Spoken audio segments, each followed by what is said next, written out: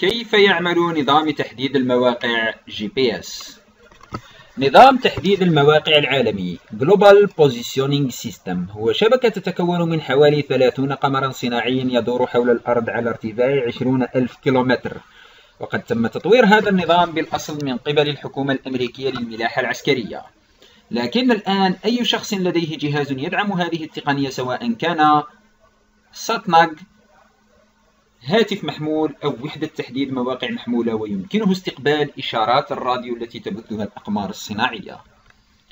أينما كانت أينما كنت على سطح الأرض هناك على الأقل أربعة أقمار صناعية محيطة بك في أي وقت. كل منها يقوم بإرسال معلومات حول موقعه والوقت الحالي في فترات منتظمة.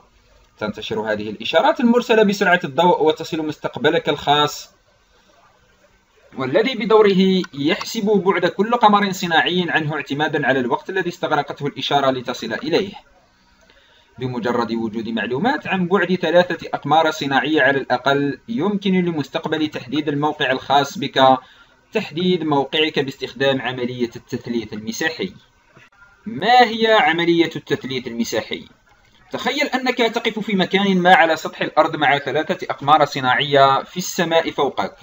إذا كنت تعرف كم تبعد عن القمر الأول فأنت تعلم أنه يجب أن تكون متموضعا في نقطة ما من محيط الدائرة الحمراء.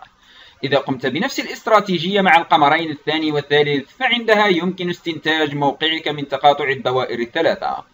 وهذا بالضبط ما يقوم بها جهاز الإرسال لديك ولكنه يستخدم كرات متداخلة بدلا من الدوائر. كلما زاد عدد الأقمار في الأفق كلما كان جهاز استقبالك أكثر دقة في تحديد موقعك. الكثير من الناس يعتقدون يخطئون باعتقادهم أن المستقبل يرسل معلومات للأقمار. في الحقيقة هو يستقبل فقط وهذا هو السبب وراء تسميته مستقبل. وبعد استقبال المعلومات تتكفل الرياضيات بما تبقى. نظام تحديد المواقع والنسبية. تحمل أقمار تحديد المواقع ساعات ذرية لتحافظ على الوقت بشكل دقيق إلا أن النسبية العامة والخاصة تتموقع وتتوقع حدوث فوارق زمنية بين هذه الساعات وساعة متطابقة على الأرض.